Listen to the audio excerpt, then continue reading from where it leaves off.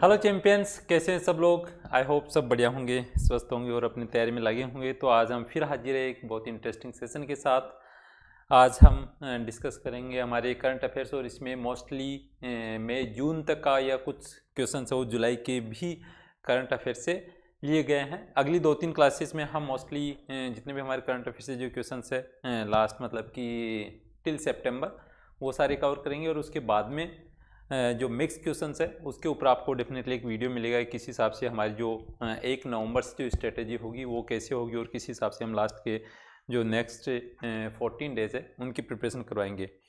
ठीक है बेटा तो आज क्लास शुरू करते हैं। गुड मॉर्निंग बेटा गुड मॉर्निंग गुड मॉर्निंग ठीक बेटा तो ये हमारी करंट अफेयर्स की क्लास है, उसके बाद में एक मिनट लूँगा मैं एप्लीकेशन के बारे में। ये हमारी मायराज इंडिया एप्लीकेशन बेटा आई होप सब अवेयर होंगे। इतना इतना सब बताने के बाद में भी क्यों हम बहुत सारे बच्चे जो रेगुलर हमारे फॉलोअर्स है रेगुलर हमारी क्लास को स्टार्टिंग से शुरू करते हैं, वो समझते होंगे कि सर क्यों बार बार इस चीज़ को रिपीट करते हैं, लेकिन बेटा रिपीट इसलिए करना पड़ रहा है।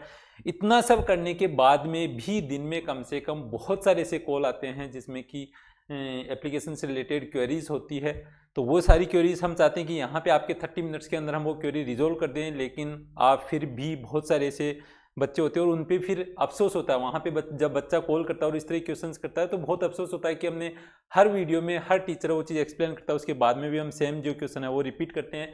ये हमारी बेटा मायराज इंडिया एप्लीकेशन है जो आप प्ले स्टोर पर गूगल प्ले स्टोर पर जाके इनरोल कर सकते हो। इसकी लिंक भी हमारी हर क्लास के अंदर होती है और इसको इंस्टॉल करने के बाद में आपको जो आपका ऑल इंडिया लाइव टेस्ट है वो फ्री ऑफ़ कॉस्ट मिलता है। उसकी कोई चार्ज नहीं है। रजिस्ट्रेशन करने के बाद में आप इनरोल कर सकते हो और हर संडे को ऑल इंडिया लाइव टेस्ट होता है, जो सबके लिए फ्री ऑफ़ कॉस्ट है, उसकी कोई चार्जेस नहीं है।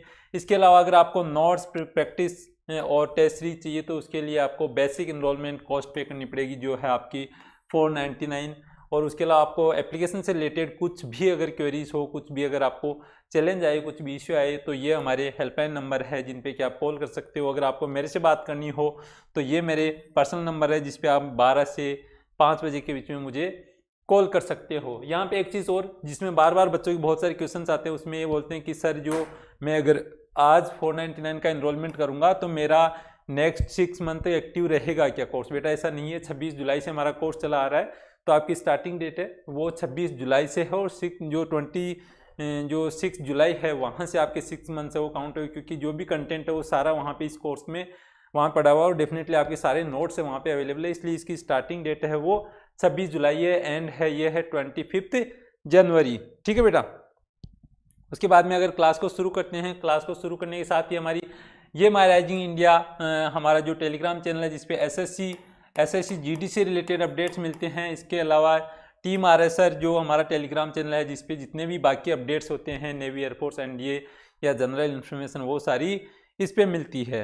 ठीक है बेटा, उसके बाद में अगर हम बात करते हैं अपने बुलेट पॉइंट्स की तो वहाँ पे बुलेट पॉइंट्स में पहला जो बुलेट पॉइंट है वो है बेटा कि जो फैजाबाद था, उसका नाम चेंज करके और अयोध्या कैंट कर दिया गया है। अयोध्या के जस्ट पास में था और अयोध्या के पास में होने के साथ ही उसको जैसे डेली कैंट के नाम से एक सेपरेट स्टेशन है तो वैसे ही फैजाबाद का जो नामकरण है वो अपडेट करके और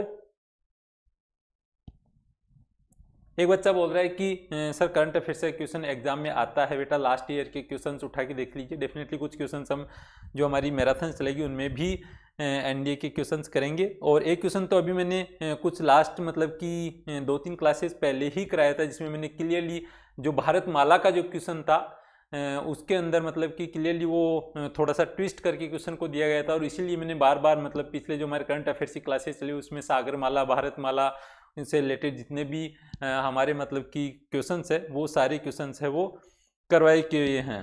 ठीक है बेटा? योगी जी हाँ बेटा तो ये चीज़ है कुछ पॉलिटिकल मोटिवेटेड भी बोल सकते हो और कुछ अलग रीजन्स भी हो सकते हैं। दैट इज़ सेपरेट डिबेट लेकिन ये है कि हाँ इलेक्शन आने वाले हैं तीन चार महीने में तो इसमें जो हिंदुत्व है वो चीज़ काफ़ी बढ़ चढ़ के रहेगी, लेकिन वो एक डिफरेंट टॉपिक डिफरेंट एजेंडा है तो उस पर अभी हम कोई आर्ग्यूमेंट नहीं करेंगे। हमारे करंट अफेयर्स के पॉइंट ऑफ़ व्यू से ये है कि फैजाबाद का जो नाम था वो रिप्लेस करके वो डेली कैंट के नाम से कर दिया गया है।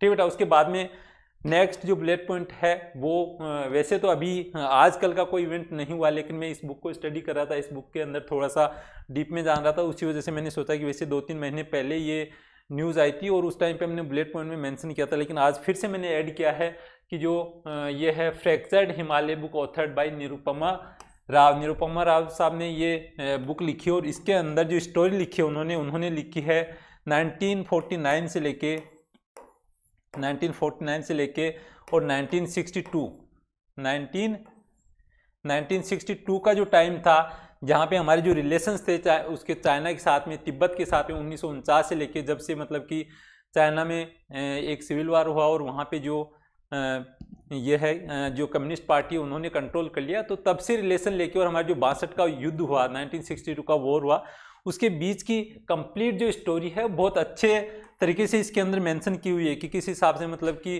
चाइनीज़ थे उन्होंने इनिशियल हमसे बात की तो हाँ कि तिब्बत के अंदर हम सिर्फ़ टेम्प्रेरी रूप से आए हैं, ये करेंगे, वो करेंगे, और उसके बाद में इनिशियली उन्होंने बेसिक रिक्वायरमेंट रखी हमारे जो मतलब कल्चरल कनेक्शंस थे उनके साथ में वो सारी चीज़ें रखी, और उसके बाद में भी मतलब कि वो एक जो पंसिल का सिद्धांत दिया 1955 54 के आसपास और उसमें हम जो ट्रस्ट करके चले गए, लेकिन उसी टाइम पे 54 55 के आसपास ही मतलब हमारा जो लद्दाख वाला एरिया अक्साई, चीन है, वहाँ से उन्होंने जो हाईवे बिल्ड कर दिया था और वो चीज़ें बाद में, वहाँ के मीडिया में पब्लिश होने के बाद में हमारी मतलब कि एजेंसीज़ को या हमारी गवर्नमेंट को पता चली। तो वो एक ओवरऑल किस हिसाब से हम उनके ट्रस्ट में आ गए थे और वो एक जो उन्होंने ब्लफ खेला था यू कैन से और जिसका हमें खामियाजा भुगतना पड़ा और उसके बाद में हमारी जो सबसे बड़ी मिस्टेक थी वो थी कि हमने जो तिब्बत के लिए जो नेगोशिएशंस थे चाइनीज़ के साथ में, उनमें सबसे बड़ी मिस्टेक हमारी यही थी कि हमने जो बाउंड्री लाइन्स है, उसको नेगोशिएशंस में नहीं रखा। उस लाइन को अगर उसी टाइम पे अगर हम सेटल कर देते कि हमारी जो मैकमोहन लाइन है, मैकमोहन लाइन को ही हम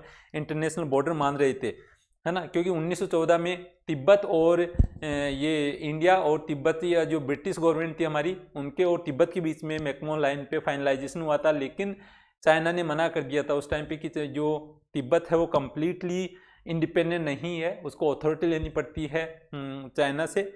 और इस वजह से हम इस लाइन को नहीं मानते। तो वो एक बहुत ओवरऑल स्टोरी है और उसको अगर आप डेफिनेटली अभी तो आपके पास इतना टाइम नहीं है, लेकिन कभी स्टडी करना अगर इस तरह के कंटेंट की तो आपको बहुत कुछ सीखने को मिलेगा कि जो रिलेशंस होते हैं किसी देश के, वो कैसे बिल्ड होते हैं और उनके बीच में जो गैप क्रिएट हो जाता है, वो कैसे मतलब कि आगे जाके प्रॉब्लम करता है।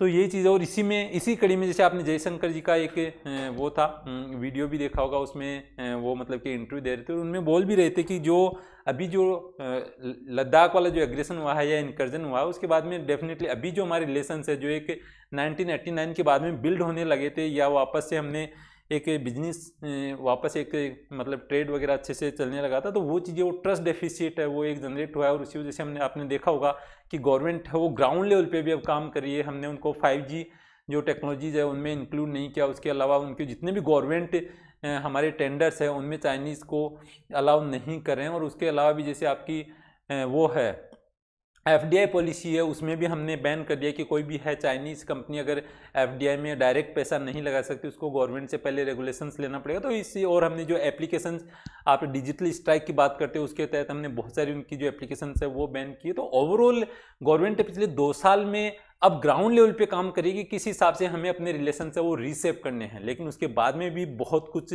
करने की बारी है। कपिल दिवानसु बेटा बार बार बोलने से चीज़ें चेंज नहीं होती है। ट्राई टू अंडरस्टैंड इस तरह से स्पैम ना करें। ठीक बेटा। उसके बाद में वो चीज़ें, आपकी जो केमिस्ट्री की जो दिवांशु बार बार कंप्लेन कर रहा था, वो यही है बेटा कि उसके लिए हम स्टिल वी आर रिव्यूइंग और उसमें अभी थोड़ा सा टाइम लगेगा। ठीक है बेटा।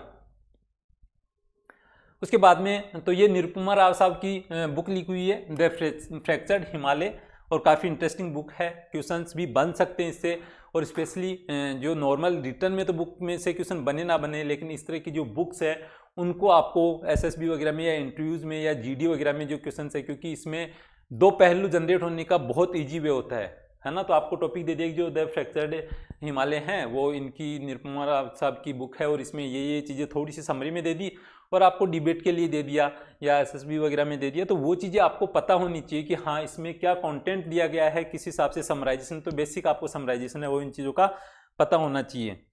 ठीक है बेटा? उसके बाद में नेक्स्ट अगर बुलेट पॉइंट की बात करें रेडियो और internet protocol R O I P enable L D Shyama Prasad Mukherjee port है ना? ठीक है बेटा? तो श्यामा प्रसाद मुखर्जी पोर्ट है, वो कोलकाता में है, और यहाँ पे जो आप आरओआईपी बोलते हो, जैसे वी होता है एक वॉइस ओवर आईपी है ना? वीआईपी होता है, ये वीआईपी टेक्नोलॉजी होती है, जिसमें आप फ़ोन कॉल वगैरह करते हो, उसके अंदर जो लैंडलाइंस वगैरह होते हैं, उसके अंदर वी टेक्नोलॉजीज़ होती है। आईपी एक इंटरनेट प्रोटोकॉल होता है, एक आईटी इंडस्ट्री में अलग, एक मतलब कि हायरार्की चलती है, जिसमें सात लेयर्स होती है और उसमें आईपी प्रोटोकॉल है, वो लेयर थ्री पे काम करते हैं। लेयर थ्री पे काम करने के अलावा तो वो थोड़ा डिबेट में चले जाएँगे, अलग मुद्दे पे चले जाएँगे। आप इसको हाई लेवल पे समझिए कि जो आर है, वैसे ही VIP की तरह आर है, वो रेडियो फ्रिक्वेंसी पे काम करता है और दूर तक कम्युनिकेशन भेजने के लिए ये टेक्नोलॉजी है, वो रेडियो और इंटरनेट प्रोटोकॉल है, वो यूज़ की गई है। और ये कहाँ पे इनेबल हो गई है? इंडिया में पहली बार श्यामा प्रसाद मुखर्जी जो पोर्ट है, उस पर इनेबल हो गई और ये कहाँ पे पोर्ट है? ये कोलकाता में है।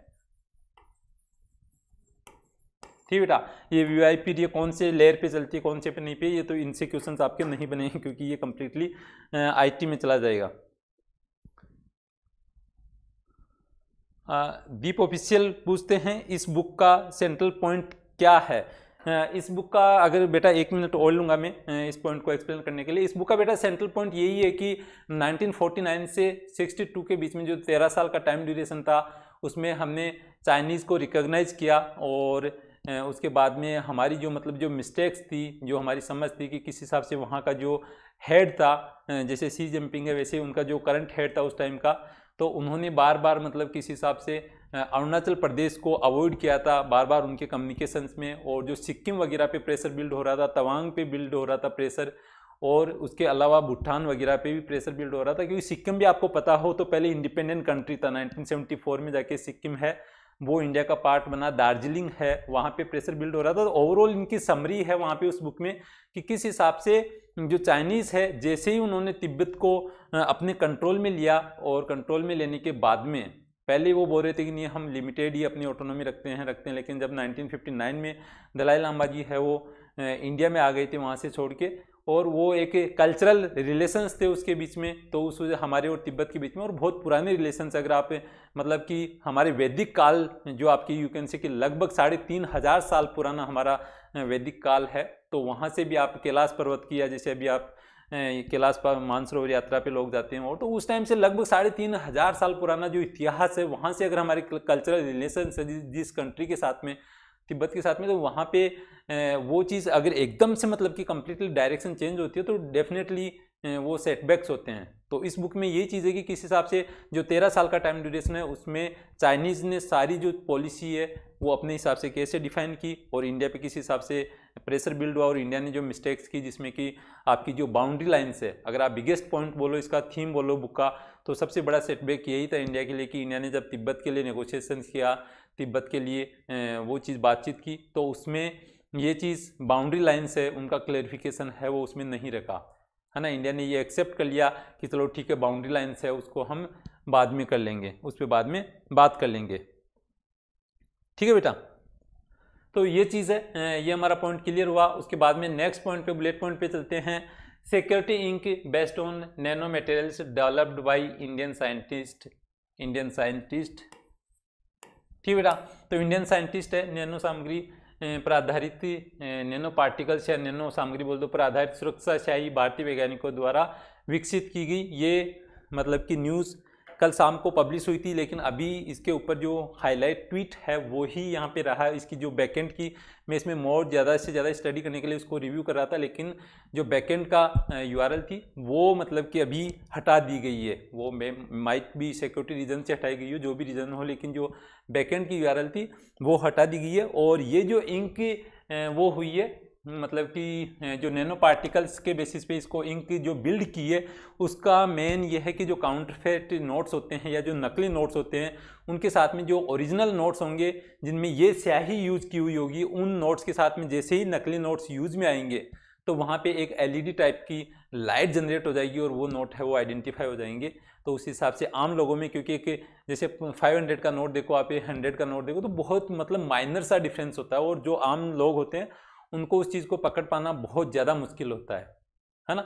तो उस सिनेरियो में ये अगर ये चीज़ ऑपरेशनल हो जाती है इन यूज़ आ जाती है तो एक बहुत बड़ा मतलब कि, और इसका अगर तोड़ नहीं निकल पाता है इजीली जो काउंटरफेट नोट्स बनाते हैं, नकली नोट्स बनाते हैं उसका अगर तोड़ नहीं निकल पाता है तो डेफिनेटली एक काफ़ी पॉजिटिव साइन होगा, क्योंकि नकली नोट्स की, उन चीज़ों की, को कंट्रोल करने के लिए हमने जिस हिसाब से यू कैन से डिमोनेटाइजेशन किया था, लेकिन उसके बाद में भी हमारे जो नोट थे, वो 99.99 परसेंट तक के हमारे जो नोट है, वो वापस आरबीआई के पास ले गई थी तो वो उतनी ज़्यादा सक्सेसफुल नहीं रही थी डिमोनेटाइजेशन है तो अगर ये इंक वाला ये चीज़ अगर डेफिनेटली ऑपरेशन में आती है तो एक बहुत बड़ा पॉजिटिव है वो इंडिया के लिए होगा। ठीक बेटा, उसके बाद में, उसके बाद में अगर नेक्स्ट क्वेश्चन पे अगर हम बात करें which Indian company join the world economic forum initiative of racial justice in business व्यवसाय में नस्ली, न्याय की विश्व आर्थिक मंच पहल में कौन सी भारतीय कंपनी शामिल हुई है? तो डेफिनेटली आपने देखा होगा कि रेशियल कमेंट्स वगैरह भले ही हम नहीं बोले, लेकिन जनरली हम बोल देते हैं। जैसे कोई बिहार से भाई होता है तो हम जो अपना फ्रेंड भी होता है तो हम वैसे डोंट टेक इट अदरवाइज़ मैं एक राजस्थानी से बोल देता हूँ अगर जैसे ना कि राजस्थान से कोई भी आदमी हो तो मारवाड़ी एक जैसे बनिए होते राजस्थान के, उनको मारवाड़ी बोला जाता है, लेकिन फिर भी कोई भी राजस्थानी होता है, दूसरे स्टेट में जाता है तो उसको मारवाड़ी बोल दिया जाता है है ना? तो वैसे ही राजस्थान, बिहार से होता है तो उसको कोई भी जैसे बिहारी बोल दे या कुछ भी दूसरे नाम से बोल दे वैसे ही जो साउथ से कोई लोग हैं तो उनको अलग नाम से बोला जाता है तो वो एक नस्लीय मतलब कि कम रेसियल कमेंट्स हो गए वो, है ना? तो दैट इज़ वेरी बैड, और उस सिनेरियो में जो, और उसके अलावा भी जो बहुत सारे पिछड़े लोग हैं, उनको मतलब कि आगे लाने के लिए, उनको जॉब्स देने के लिए, उनकी जॉब्स में प्रायोरिटी देने के लिए है जो विप्रो है, उन्होंने ये जो पहल है, इसके इनिशिएटिव को सपोर्ट किया है। उसके बाद में विच मॉलवेयर इज़ अलिक to be behind the October blackout in the Mumbai October ये है बेटा 2020 है ना, क्योंकि अक्टूबर 21 भी चल रहा है। तो ये अक्टूबर 12 अक्टूबर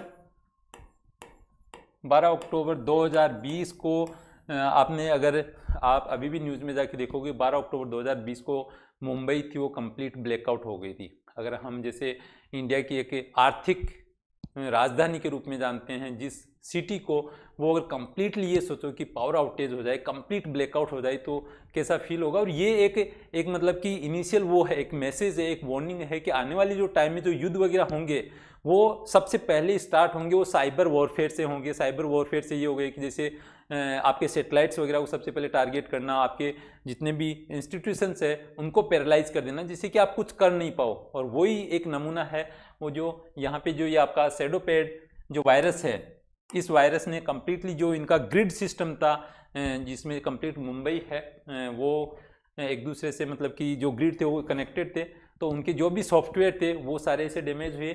कि वहाँ पे कंप्लीट ग्रिड है, वो सारे बैठ गए थे और उस वजह से कंप्लीट जो मुंबई थी, वो ब्लैकआउट हो गई थी और जितने भी जैसे मेट्रोज वगैरह जो इलेक्ट्रिसिटी चीज़ें चल रही है, और चल रही है, वो सारी चीज़ें हैं, वो होल्ड पे चली गई थी। तो ये एक जो हम अगर लॉन्ग टर्म में देखें तो this is you can say initial एक, आप इसको डेमो मान सकते हो कि कैसे आने वाले समय में हमें जो साइबर सिक्योरिटीज़ वगैरह है, उसको स्ट्रॉन्ग करने की ज़रूरत है। और अगर चाइनीज़ के पॉइंट ऑफ़ व्यू में बात करूँ एक मिनट इसको थोड़ा सा एक्स्ट्रा लेके जाने की कोशिश करूँ तो उन्होंने अपनी जो साइबर सिक्योरिटी उसको बहुत ज़्यादा एडवांस कर रखा है। उसमें इतना एडवांस कर रखा है कि वहाँ पे आपकी जैसे नॉर्मल हम गूगल चलाते हैं फेसबुक चलाते हैं ट्विटर चलाते हैं, ये चीज़ें ओपनली हम चलाते हैं राइट लेकिन वहाँ पे नहीं है। वहाँ पे वाइबो करके एक सेपरेट गूगल की तरह सेपरेट प्लेटफॉर्म है वाइबो करके, और वहाँ पे मतलब कि उनका सेपरेट सोशल मीडिया प्लेटफॉर्म है। तो वो चीज़ें हैं और वहाँ पे एक ग्रेट चाइना फायरवॉल के नाम से एक उन्होंने अपनी फायरवॉल बिल्ड कर रखी है और वहाँ से जितना भी चाइना से बाहर जो इंटरनेट ट्रैफ़िक निकलता है, वो कंप्लीट जो ट्रैफ़िक है, वो स्कैन होकर निकलता है वहाँ से। हर एक पैकेट है वो स्कैन होकर निकलता है और उसी वजह से जो भी कंपनीज़ है, मेरा खुद का पर्सनल एक्सपीरियंस रहा है इस चीज़ में कि जो भी पैकेट वहाँ से चाइना से है, ग्रेट चाइना फायरवॉल को निकल, वो क्रॉस करके निकलता है, उसका हर पैकेट वो फ़िल्टर होता है और वहाँ उस वजह से बहुत ज़्यादा स्लोनेस प्रॉब्लम होती है और जो भी कंपनीज़ है, वो चाइना में बिज़नेस डील करती है, उनको बहुत ज़्यादा प्रॉब्लम्स होती है। तो उन्होंने अपनी साइबर सिक्योरिटी काफ़ी एडवांस कर रखी लेकिन हमने है क्योंकि हर देश में अब आप सोच रहे होंगे, सर इंटरनेट है, उसको कैसे कंट्रोल किया जा सकता? है तो इंटरनेट को ऐसे कंट्रोल किया जा सकता है, बेटा, कि जैसे हमारा मुंबई हो गया, यहाँ पे चेन्नई हो गया, कोलकाता हो गया, जहाँ जहाँ से हमारे, मान लो कि इंटरनेट की जो लिंक्स है, वो बाहर निकलती है, वहाँ पे अगर हम बड़ी फायरवॉल्स बिठा दें और अपने सारे जो ट्रैफ़िक है, उसको कंट्रोल करने लगे, उसको स्कैन करने लगे तो वही जो चाइना कर रहा है, वो वाली सीनेरियो जनरेट हो जाएगी।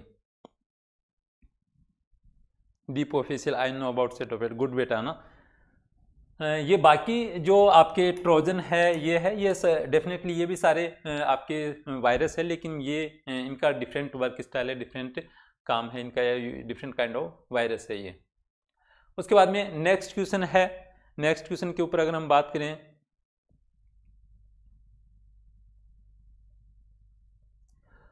which state approved a law law to give life imprisonment to food adulterators किस राज्य ने खाद्य मिलावट करने वालों को आजीवन कारावास की सजा देने वाले कानून को मंजूरी दी? काफ़ी वैसे अच्छा भी है, क्योंकि किसी हिसाब से आप खाने के चीज़ों में अगर मिलावट करो तो उसमें उसमें कड़ी से कड़ी सज़ा होनी चाहिए कि जो, और डेफिनेटली ये जो काम है, जैसे एमपी गवर्नमेंट है, उन्होंने डिक्लेयर किया, उन्होंने लाइफ टाइम इम्प्रिजमेंट या मतलब आजीवन कारावास की सज़ा है, वो डिक्लेयर की है कि जो भी खाद्य सामग्री में मिलावट करेगा, क्योंकि बहुत सारी मतलब कि कई बार ये दयनीय सिचुएशन आती है कि जैसे दूध वगैरह में यूरिया जैसे केमिकल्स है वो मिलाना या बहुत सारे दूसरे केमिकल्स वगैरह तो वो आप जस्ट इमेजिन कि कैसे बच्चों को इम्पैक्ट करते हैं, अगर कोई बच्चा है वो दूध वगैरह यूज़ करे तो ऐसी चीज़ें अगर मार्केट में हो तो वो बहुत रिस्की चीज़ें हों और इसके लिए बहुत कड़ी से कड़ी सज़ा होनी चाहिए। आप कई जैसे है कि खाने पीने की आपके अनाज वगैरह में है, वो कंकड़ पत्थर वाले मिलाने वाली, आपने मूवीज़ में भी बहुत बार देखा होगा।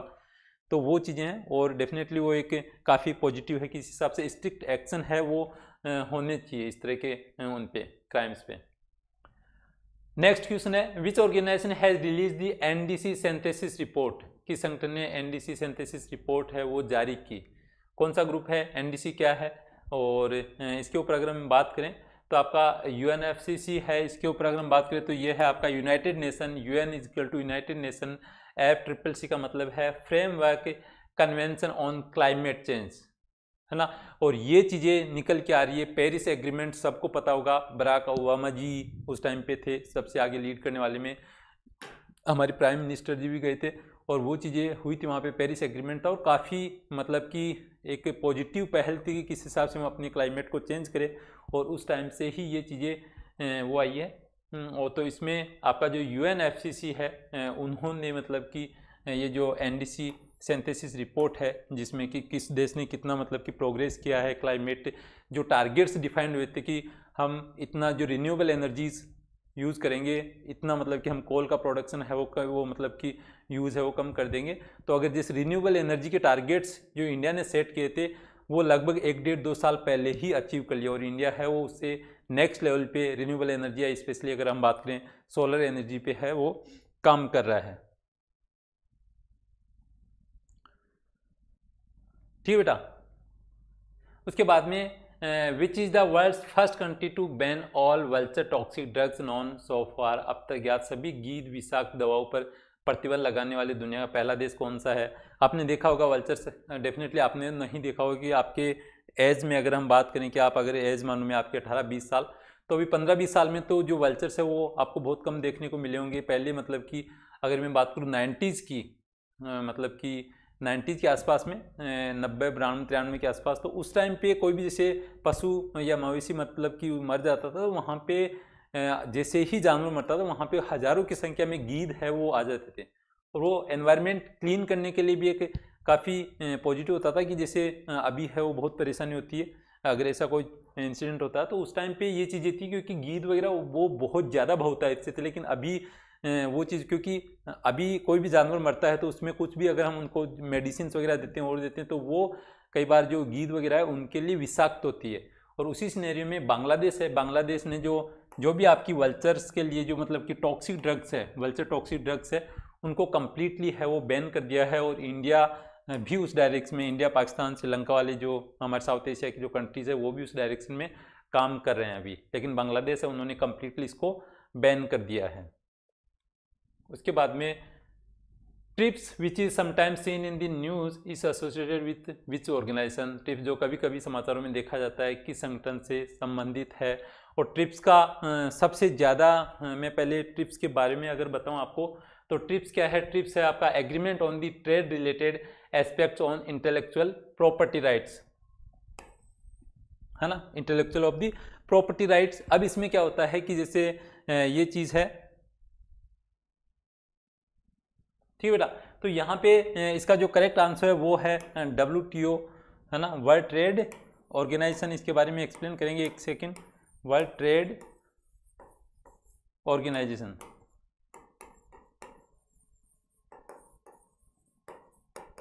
है ना? ये डब्ल्यू एच ओ है, वो वर्ल्ड हेल्थ ऑर्गेनाइजेशन है, जो आईएमएफ है, इंटरनेशनल मॉनिटरी फंड है। आईएमएफ जो बैंक है यू यूएनजीए है, वो यूनाइटेड नेशन की ही ब्रांच है। तो उस हिसाब से डब्ल्यू टी ओ है, जो वर्ल्ड ट्रेड ऑर्गेनाइजेशन है इनमें जो ट्रिप्स है और ट्रिप्स की फुल फॉर्म जैसे आपको पता ही कि क्या है कि जो इंटेलेक्चुअल राइट्स है, किसी प्रॉपर्टी किसी ने कोई चीज़ है वो पेटेंट करवाई, किसी ने कोई चीज़ विकसित की, जैसे वैक्सीन के पॉइंट ऑफ़ से हम बात करें तो वैक्सीन विकसित की तो इसमें जो इंडिया है इंडिया ने ये चीज़ बोला था कि जो भी वैक्सीन विकसित कर रहे हैं तो उनको मतलब कि टेक्नोलॉजी ट्रांसफ़र वगैरह है, वो दूसरे देशों को की जानी चाहिए, जिससे कि जो अंडर डेवलप्ड कंट्रीज़ है उनको वैक्सीन है, वो इजीली मिले। लेकिन यूएसए है, उन्होंने इसको सपोर्ट नहीं किया। यूएसए ये बोला कि नहीं, अगर वैक्सीन है वो हम डेवलप कर रहे हैं तो हम ही अपनी मनमर्जी की जो प्राइस है उस पर हम सेल करेंगे। हम किसी को भी अपनी टेक्नोलॉजी है वो नहीं देंगे। लेकिन इंडिया ने इसका ओपनली सपोर्ट किया था ट्रिप्स का। इंडिया ने बोला था कि जो भी जैसे अफ्रीकन कंट्रीज़ है, उनमें बहुत बुरी हालत है और इनको सपोर्ट करना चाहिए। और उसी जो ट्रिप्स से एक याद आया कोवैक्स आपने नाम सुना होगा कोवैक्स क्या है कोवैक्स और बार बार मैं बहुत बार एक्सप्लेन भी कर चुका हूँ। काफ़ी इंपॉर्टेंट भी है क्वेश्चंस भी बन सकता है क्योंकि पिछले दो साल से ये चीज़ महामारी में यूज़ हो रही है। आ, मतलब कि कोविड नाइन्टीन चल रहा है तो उस वजह से कोवैक्स है उसका हर बार यूज़ आता है लगभग डेली बेसिस पे ही आ, ये यूज़ आता है। तो कोवैक्स आई होप आपको सबको पता होगा कोवैक्स क्या है। कोवैक्स है वो है आपकी जो कोविड नाइन्टीन जो वैक्सीन है उसको एक दूसरे जो अंडर डेवलप्ड कंट्रीज़ है, उनको मतलब कि हेल्प प्रोवाइड करना, और वो वो है, सब कुछ हो रहा है, वो कोवैक्स के तहत हो रहा है। तो इंडिया है इंडिया ने यही पहल की थी, जिस हिसाब से हम कोवैक्स के थ्रू वैक्सीन दे रहे हैं तो वैसे अगर हम टेक्नोलॉजी ट्रांसफ़र करें तो जो अंडर डेवलप्ड कंट्रीज़ है, वो अपने वहाँ पे भी वैक्सीन है, वो प्रोड्यूस कर सकते हैं। लेकिन यूएसए ने इसको डिनाई कर दिया था। ठीक बेटा? उसके बाद में नेक्स्ट क्वेश्चन है which ministry has finalise the list of products for one district one focus product किस मंत्रालय ने वन डिस्ट्रिक्ट वन फोकस उत्पाद के लिए उत्पादों की सूची को अंतिम रूप दिया है। और ये डेफिनेटली ये है अगर one district one focus product है, ये सारा कुछ है, वो है एग्रीकल्चर मिनिस्ट्री के अंडर में। उसके बाद में फॉल आर्मी वॉर्म जो एक कीड़ा होता है, आपने देखा होगा, हम बोलते हैं ना कई बार अगर जैसे किसान बैकग्राउंड से कोई लोग है तो जानते होंगे, हम बोलते हैं कि लट लग जाना, है ना? कि कभी कपास की खेती में हम बोलते हैं लट लग गई, या मक्के की खेत में हम बोलते हैं कि लट लग गई तो वो कीड़ा होता है, वो सारे मक्के के पत्तों को छेद कर देता है, या कपास के पत्ते हैं, उनको खा जाता है तो लट लगने वाला जो चीज़ है, वो है फॉल आर्मी वॉर में infestation on crops has been reported recently in which place है ना? तो ये रिसेंटली कौन सी जगह पे है, जो मतलब कि रिपोर्ट की गई थी? इसका अगर मैं क्वेश्चन का आंसर दूँ तो वो है इसका वायनाड, केरला।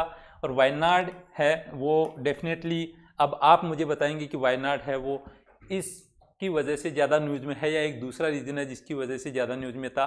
किस वजह से वायनाड है वो? काफ़ी मतलब कि अगर हम बात करें पिछले ढाई तीन साल की दो ढाई साल की तो काफ़ी ज़्यादा न्यूज़ में रहा। है वायनाड तो कोई बच्चा एक्सप्लेन कर सकता है कि वायनाड है, वो दूसरा किस रीज़न से है, वो काफ़ी न्यूज़ में रहा है। Neeraj please focus on study है ना?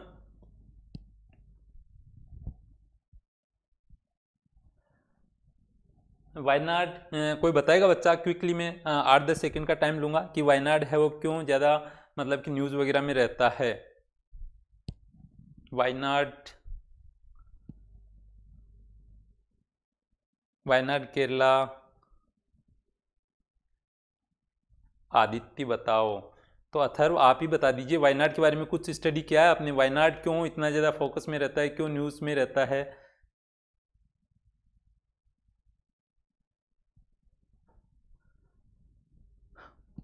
ठीक बेटा तो मैं ही बताता हूँ। काफ़ी टाइम लग जाएगा मुझे लग रहा है क्योंकि दस पंद्रह सेकंड है उसमें ये डिले चलता है यहाँ पे।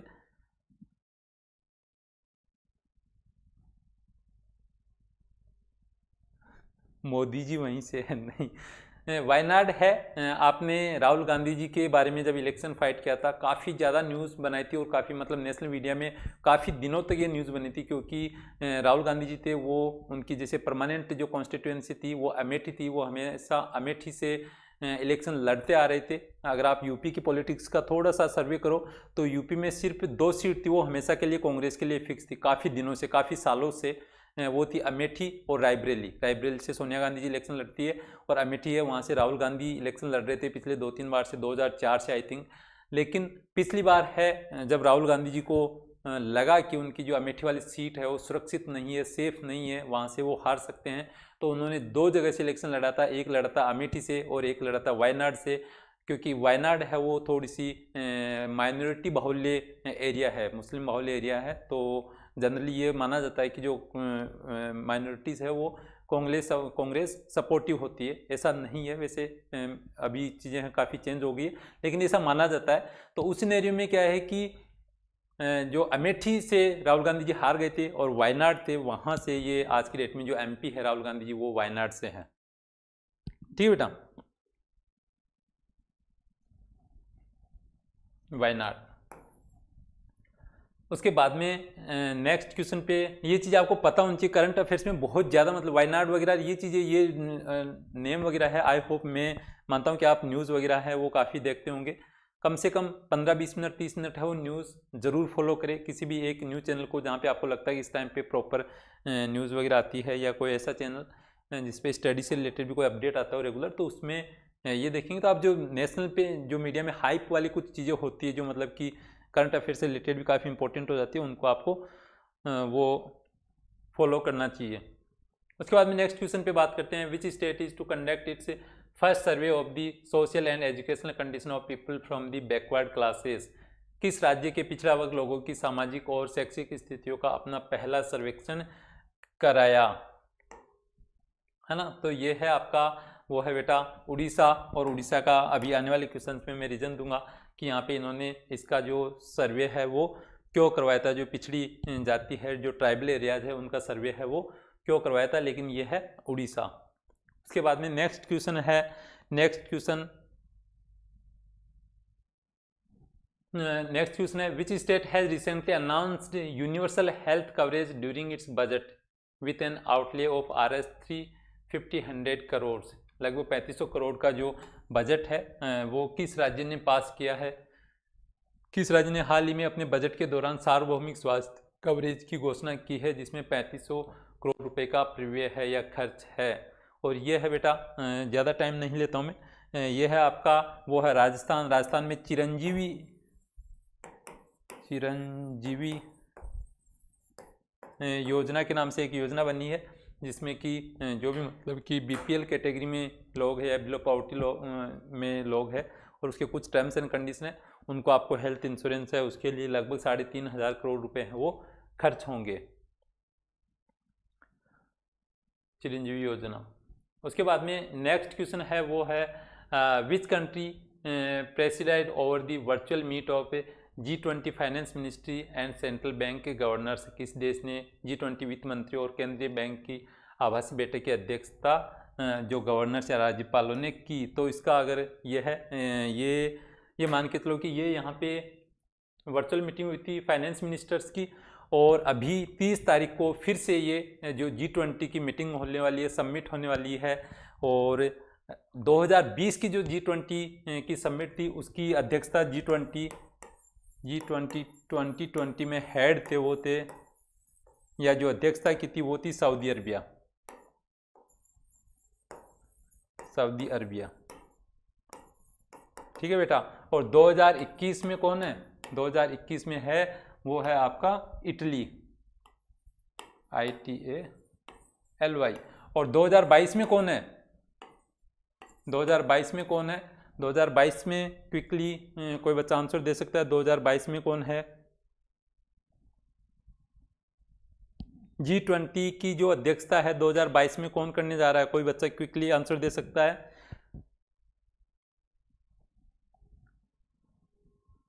ठीक है बेटा, मैं बताता हूँ। है ना तो 2022 है। 2022 में इंडोनेशिया है, वो अध्यक्षता करने वाला है। और 2023 में 2023 में है जी ट्वेंटी जी ट्वेंटी की जो हेड करेंगे वो है इंडिया तो ये है, पहले ये था कि इंडिया है, वो 2022 में हेड करेंगे, लेकिन हर चीज़ में आपको पता है कि थोड़ा सा मतलब कि पॉलिटिकल पार्टीज़ है तो उनका अपना भी एक मत होता है, अपना भी एक परसेप्शन होता है कि किस हिसाब से उनको अगले इलेक्शन में जाना है। 2024 में इलेक्शन है 2024 में इलेक्शन है तो डेफिनेटली जो करंट गवर्नमेंट है, उनको भी एक हाइप क्रिएट करनी है, एक वो चीज़ क्रिएट करनी है तो उन्होंने 2022 से इसको शिफ्ट करके 2023 में कर दिया कि हम जो जी ट्वेंटी के हेड्स हैं और काफ़ी बड़ा इवेंट होता है। अगर आप ये मान के चले कि वर्ल्ड की जो टॉप ट्वेंटी इकोनॉमीज है, उनके हेड अगर आपके कंट्री में आते हैं कहीं पे भी तो वो एक लिटरली एक बहुत बड़ा मतलब कि इवेंट बनता है। एक not only national media international media में वो चीज़ें सामने आती है। और अगर इतना बड़ा इवेंट है वो इंडिया ऑर्गेनाइज करेगा तो यहाँ पे भी लोकल मीडिया में भी वो चीज़ें छाएगी। तो जो करंट गवर्नमेंट वो डेफिनेटली उसका बेनिफिट है, वो इलेक्शन में लेना चाहेगी। इस वजह से इन्होंने क्या किया कि इसको जो शिफ्ट करके है वो दो हज़ार तेईस में कर दिया है, क्योंकि 2024 में है इलेक्शन होने वाले हैं। ठीक है बेटा? उसके बाद में R Vinay Kumar has announce his retirement for from with sports ये क्वेश्चन तो मुझे पक्का पता है कि 200 परसेंट हर बच्चा है, वो आंसर देगा, क्योंकि क्रिकेट के तो वैसे हर बच्चा दीवाना है है ना? कितने बच्चों ने फ़ोन तोड़े अपने जब पाकिस्तान से इंडिया हार गया था। नकली वाले तोड़े होंगे मतलब पुराने वाले जो डस्टबिन में फेंकने वाले थे, वही तोड़े होंगे। तोड़ के वीडियो तो बनाया होगा। है कि नहीं बेटा? तो ये क्रिकेट से थे और इनकी अगर जीवनी के बारे में देखें हम ये पूरा इनका वो है जन्म है वो 84 में हुआ था, फेब्रुवरी 84 में, लगभग सैंतीस साल के हैं और उसके बाद में इनका मतलब कि नेशनल साइड से 2010 से 13 के बीच में कार्यकाल रहा, काफ़ी शॉर्ट रहा था। टेस्ट मैच था, वो ऑस्ट्रेलिया के अगेंस्ट में खेला था और ओडीआई डेब्यू था, वो जिम्बाब्वे के अगेंस्ट में था। और लास्ट मैच था वो ऑस्ट्रेलिया के अगेंस्ट में था। ठीक है बेटा तो इन्होंने है वो रिसेंटली डिक्लेयर किया कि वो रिटायरमेंट ले रहे हैं। What is the full form of I C L E D I C L E D का पूर्ण रूप क्या है? क्या है आई सी डी यह बेटा आपका interband cascade light emitting device interband ये काफ़ी मतलब कि एक वो इंटर बैंड ये काफ़ी उसमें फिजिक्स में चले जाएँगे हम कि किस हिसाब से एक बैंड से दूसरे बैंड में है वो लाइट जाती है।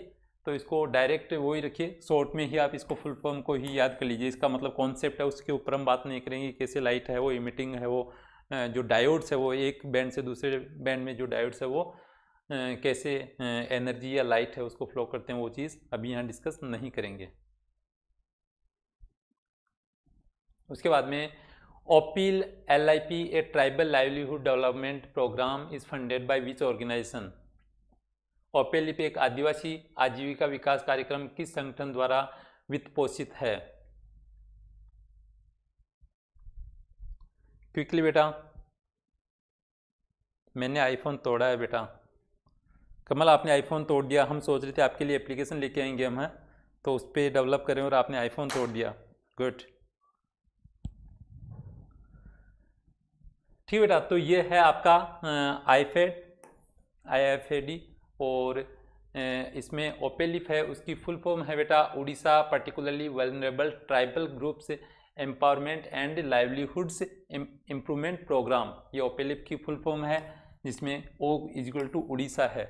और आईफेड का मतलब है the international fund for agriculture development. और अभी पहले ऊपर जो ट्राइबल जो सर्वे था, उससे रिलेटेड क्वेश्चन आया था, उस टाइम पे मैंने बोला था कि मैं नेक्स्ट क्वेश्चन में इसका आंसर बताऊँगा कि क्यों उन्होंने वो मतलब कि जो सर्वे करवाया था कि वहाँ पे कितने हैं वो ट्राइबल एरियाज़ में पिछड़े लोग हैं उस चीज़ के लिए। तो ये इसी प्रोग्राम के लिए था कि यहाँ पे इस प्रोग्राम के लिए जो फंड वगैरह है वो आईफेड प्रोवाइड कर है the international fund for agriculture development. ठीक है बेटा? उसके बाद में नेक्स्ट क्वेश्चन है which regulator in India has form a committee to relook its information and security guidelines information and security guidelines है वही चीज़ें साइबर सिक्योरिटी से रिलेटेड ही आ जाती है ये। और फिर से हम बार बार बोल रहे हैं कि साइबर सिक्योरिटी है, वो आने वाले टाइम में है। किसी भी देश के लिए नॉट ओनली फॉर इंडिया किसी भी देश के लिए साइबर सिक्योरिटी है, वो एक बिगेस्ट चैलेंज होगा।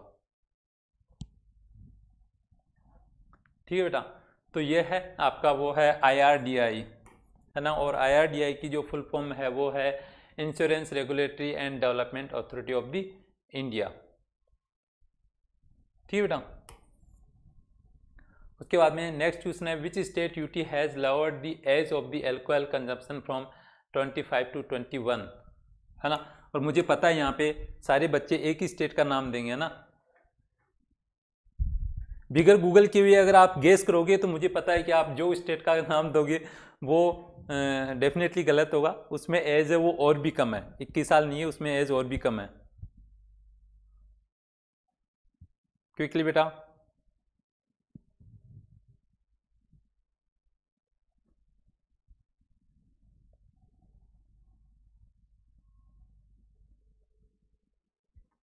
क्विकली कौन सा स्टेट है बेटा?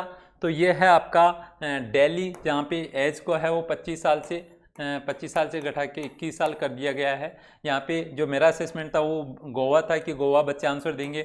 यहाँ पे ऑलरेडी है वो 18 ईयर्स है। 18 साल के बाद में है वहाँ पे एल्कोहल कंजम्पशन मतलब कि आप ड्रिंक ले सकते हो लिक्वाइड वो कर सकते हो। लेकिन बाकी स्टेट्स में जनरली 25 साल होते हैं। दिल्ली में 25 साल था, उसको रिड्यूस करके और वो कर दिया। और इसका रिड्यूस करने का एक रीज़न ये भी है कि यहाँ पे मोस्टली क्या होता है कि हर स्टेट में ही लिक्वाय है, वो एक रेवेन्यू का बहुत बड़ा पार्ट होता है, क्योंकि उन पर टैक्सेस है, वो बहुत ज़्यादा होता है और इंडियन गवर्नमेंट या मतलब स्टेट गवर्नमेंट से वो मोस्टली अगर हम बात करें आज की डेट में टैक्स कलेक्शन की तो मोस्टली जो पेट्रोल डीजल से और जो लिक्वाय है, उनसे जितना इनका रेवेन्यू जनरेट होता है, वो किसी दूसरे प्रोडक्ट से नहीं होता है। कोई भी ऐसा दूसरा काम नहीं है, जिससे उनको इतना ज़्यादा रेवेन्यू जनरेट होता हो, जितना कि लिक्वाइड से या ड्रिंक से और उसके अलावा आपका इससे होता हो, पेट्रोल डीजल से होता हो। और इसी वजह से इनकी पेट्रोल डीजल है, उसको जीएसटी की कैटेगरी में नहीं लाया जा रहा है, क्योंकि उस पर लगभग काफ़ी हैवी टैक्सेस है। और वो सेंट्रल गवर्नमेंट की जिम्मेदार नहीं उसके लिए सारी state governments and central government सब जिम्मेदार उसके लिए। क्योंकि अगर वो जो भी पैसा है, वो स्टेट गवर्नमेंट को भी जाता है फ्यूल वगैरह से, पेट्रोल डीजल से स्टेट गवर्नमेंट और सेंट्रल गवर्नमेंट दोनों को जाता है। है ना? तो हम ब्लेम करें कि नहीं स्टेट गवर्नमेंट की फॉल्ट है या सिर्फ़ सेंट्रल गवर्नमेंट की फॉल्ट है, वो नहीं है, वो सारी पॉलिटिक्स होती है, लेकिन इसमें दोनों है, वो जिम्मेदार हैं। ठीक बेटा? What is the Baikal GVD that has been in news recently काफ़ी इंटरेस्टिंग क्वेश्चन है, और देखोगे तो आप इसके बारे में बहुत कुछ जानने को भी मिलेगा। बाइकल जीवीडी क्या है, जो हाल ही में चर्चा में रहा? क्या है? ये है आपका बेटा रशियन टेलीस्कोप और ये न्यूज़ में रहने का क्या रीज़न था? रशियन टेलीस्कोप ऐसे तो कोई सा भी देश है, वो टेलीस्कोप लगा सकता राइट तो उसका रीज़न क्या है? रीज़न ये है बेटा कि ये आपकी जो बाइकल है, बाइकल ये लेक है यहाँ पे। एक ये साइबेरिया में, ये मंगोलिया है, मंगोलिया के नीचे चाइना आ गया। और ये साइबेरिया में मतलब कि बाइकल बाइकल करके लेक है। और यहाँ पे इस लेक में काफ़ी मतलब डीप लेक लेक है, काफ़ी गहरी झील है। और इस झील के अंदर यहाँ पे टेलीस्कोप रखा गया है। और ये टेलीस्कोप क्यों रखा गया है? टेलीस्कोप रखने का ये है कि जो जीवीडी है, जीवीडी टेलीस्कोप नाम दिया गया ना तो जीवीडी का काम क्या है? GVD design to detect high energy neutrinos. Neutrinos का काम है कि, और न्यूट्रिनोज कैसे बनते हैं? न्यूट्रिनोज का अभी तक है वो चीज़ें हम पृथ्वी कैसे बनी थी, कैसे नहीं बनी थी। और हमने जैसे बोला था, गोड पार्टिकल के बारे में आपने सुना होगा। कि गोड पार्टिकल है, वो फिजिक्स की थ्योरी के अगेंस्ट में जाके काम करता है और उसको गोड पार्टिकल नाम दिया था। तो वैसे ही जो हाई एनर्जी के जो ये है, न्यूट्रिनोज है, न्यूट्रिनोज को डिटेक्ट करने के लिए अभी तक जो मोस्टली जो न्यूट्रिनोज है, वो ये माना जाता है कि जो पृथ्वी का जो सेंटर पॉइंट है, पृथ्वी का जो, अर्थ का जो सेंटर पॉइंट है, वहाँ पे न्यूट्रिनोस हो सकते हैं। या हम साउथ पोल में या जो ध्रुव है, उन पे हम मानते हैं कि न्यूट्रिनोस है, या हम ये मानते हैं कि जो न्यूट्रिनोस है, वो जो पृथ्वी पे आते हैं वो आते हैं कि जब सुपरनोवा एक्टिविटीज़ होती है सुपरनोवा एक्टिविटीज़ जब सूर्य पे होती है तो वहाँ से जो ये हाई एनर्जी पार्टिकल्स है, वो वहाँ से ट्रेवल करके पृथ्वी पे आते हैं। तो वो चीज़ें अभी क्लियरली वो थ्योरी क्लियर नहीं हो पाई कि न्यूट्रिनोज कैसे बिल्ड होते हैं, क्या है, क्या नहीं है, अभी जस्ट ये चीज़ें गैस चल रही है। और उसी चीज़ को डीप में स्टडी करने के लिए है, वो है आपकी जो जीवीडी बाइकल नाम दिया गया है, जो टेलीस्कोप है, वो है, क्योंकि बाइकल यहाँ पे ये लैक है, जिसके अंदर ये जो जीवीडी है, जो इस हिसाब से डिज़ाइन की गई है, जो कि हाई एनर्जी जो न्यूट्रिनोस है, उनको डिटेक्ट कर सके। उसके लिए ये काफ़ी ज़्यादा न्यूज़ में रहा था।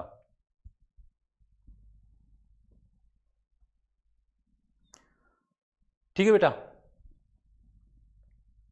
उसके बाद में ये है Indian navy carried out PASSEX exercise with which country in the Persian gulf operation Sankalp operation Sankalp है 2019 से शुरू हुआ था। 2019 से शुरू हो रहा है और इसके पीछे का रीज़न है कि ये ऑपरेशन संकल्प है, वो कहाँ पे हो रहा है? ये गल्फ कंट्री, जो पर्सियन गल्फ है, वहाँ पे होता है।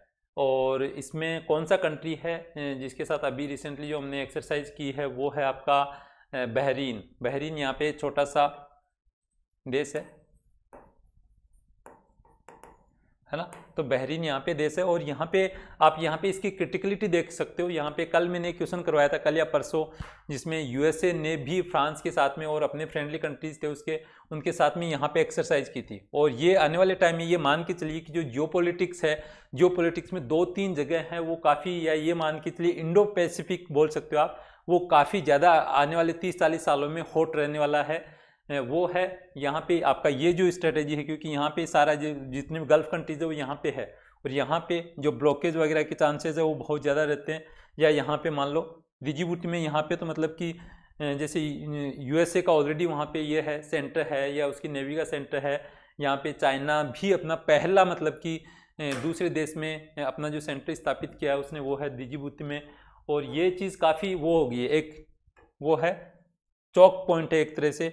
और इसी हिसाब से यहाँ पे देखोगे तो इतर भी अंडमान निकोबार द्वीप समूह के पास में भी जो चौक पॉइंट है जिसपे हम अंडमान निकोबार में हमारे तीनों फोर्सेस काम करें तो उस हिसाब से मल्टीपल जो पॉइंट्स है इंडो पैसिफिक में, वो एक सेंट्रल पॉइंट रहेंगे, आने वाली पॉलिटिक्स का कि जो वॉरफेयर्स वगैरह होंगी जो उनके लिए। और यहाँ पे जितने भी अभी वॉरफेयर्स हो रहे हैं मल्टीपल कंट्रीज़ वो कर रहे हैं, क्योंकि यहाँ पे चाइना है, वो यहाँ पे क्या कर रहा है? चाइना यहाँ पे ग्वादर पोर्ट है ग्वादर पोर्ट को बिल्ड किया है और ग्वादर पोर्ट में क्या किया है कि यहाँ पे इसी हिसाब से बिल्ड किया है कि इवन यहाँ पे करेंसी भी चाइनीज़ चलेगी।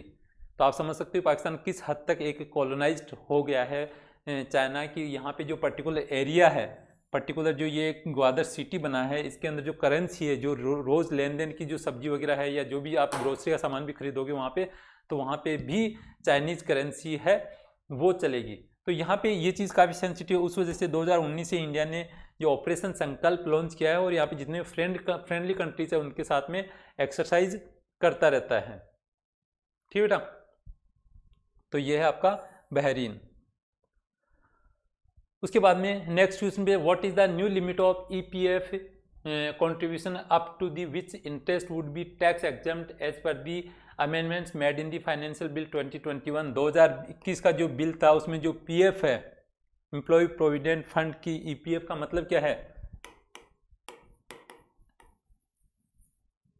एम्प्लॉय प्रोविडेंट फंड ठीक है बेटा तो एम्प्लॉय प्रोविडेंट फंड है उसमें जो 2021 का जो बिल है, उसमें जो चेंजेस किए क्योंकि गवर्नमेंट है, उसके साथ, पास में डेफिनेटली एक क्राइसिस है, पैसे का आज की डेट में इंडियन गवर्नमेंट के पास पैसा नहीं है और आपने ये, अगर मैंने जो पहली क्लास ली उसमें आपने देखा हो तो करंट अकाउंट डेफिसिट है वो इंडिया का ऑलमोस्ट नाइन परसेंट के आसपास चल रहा है और दैट इज़ ह्यूज नंबर है ना? करंट अकाउंट डेफिसिट नौ परसेंट का मतलब क्या है? नौ परसेंट का मतलब ये है कि अगर आप सौ रुपये का एक्सपोर्ट कर रहे हो, सौ रुपये का एक्सपोर्ट कर रहे हो तो आप इम्पोर्ट एक सौ नौ का कर रहे हो। एक्सपोर्ट सौ का कर रहे हो तो इम्पोर्ट कितने का कर रहे हो? आप एक सौ नौ का कर रहे हो, है ना? तो इस हिसाब से आपका लगभग नौ परसेंट का करंट अकाउंट डेफिशिएट चल रहा है सीएडी है और उसी सीनेरियो में गवर्नमेंट है, वो पैसा अपने पास में, उसके काफ़ी क्राइसिस है तो उस चीज़ को ओवरकम करने के लिए चाहती है कि जो एम्प्लॉयज़ है गवर्नमेंट एम्प्लॉयज़ वगैरह है, वो अपना जो पेन जो ये प्रोविडेंट फंड है, उसमें पैसा ज़्यादा से ज़्यादा लोग जमा कराएँ तो उस सीनेरियो में इसमें क्या है कि इस लिमिट को बढ़ा के, ढाई लाख से बढ़ा के और पाँच लाख कर दिया कि आप पाँच लाख तक ई जमा करवाएँगे तो उस पर आप पे कोई चार्ज है, वो नहीं लगेगा। ठीक है बेटा?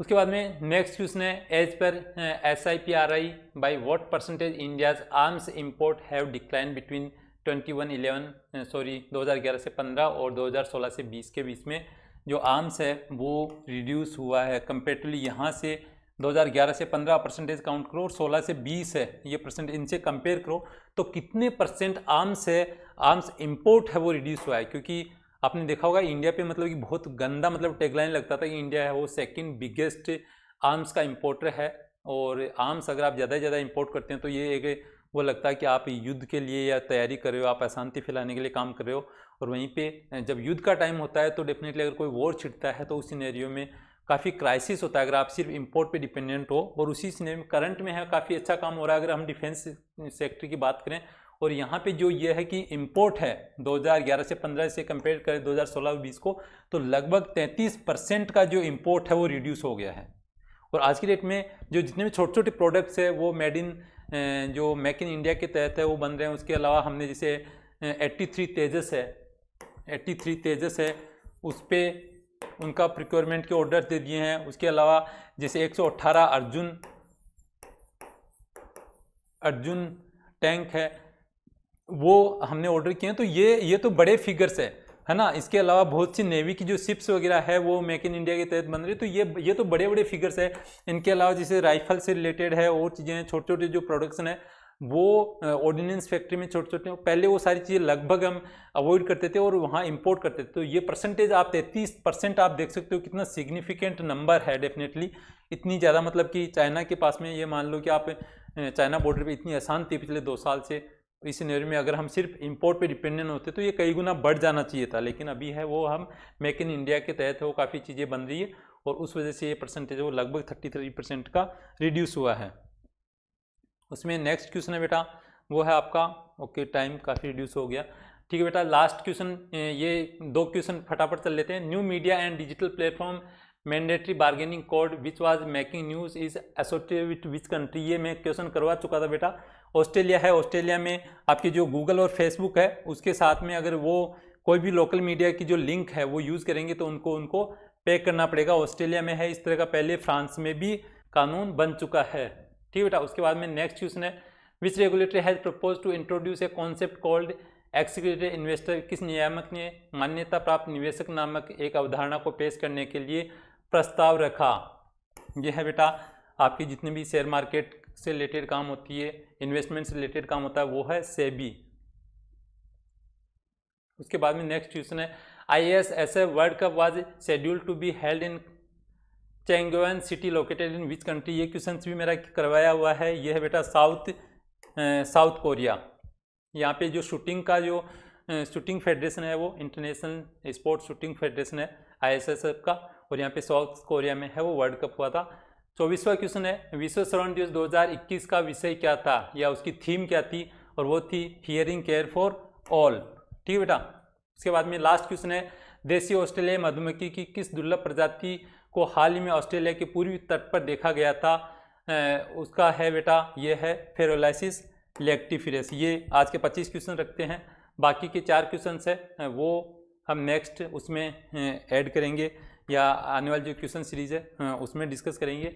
उसके अलावा ये हमारी एप्लीकेशन है, आप डाउनलोड कर सकते हो, इंस्टॉल कर सकते हो, यहाँ पे अर्जुन बेच को इनरोल कर सकते हो और फोर नाइन्टी नाइन का जो बेसिक चार्ज है वो पे करने के बाद में आपको स्टार्ट लर्निंग आ जाएगा। इस हिसाब से यहाँ पे कोर्सेज आ जाएँगे और यहाँ पे जो टेस्ट सीरीज़ है, वो आपको यहाँ पे देखने को मिलेगा। इसके अलावा आपको कुछ भी कंसर्न हो क्वेरीज हो तो डेफिनेटली आप कमेंट कर सकते हो और हमसे कॉल पे भी रीच आउट कर सकते हो। ठीक है बेटा तो आज के लिए इतना ही। कल फिर से मिलते हैं एक नए सेशन के साथ। तब तक के लिए जय हिंद, जय भारत।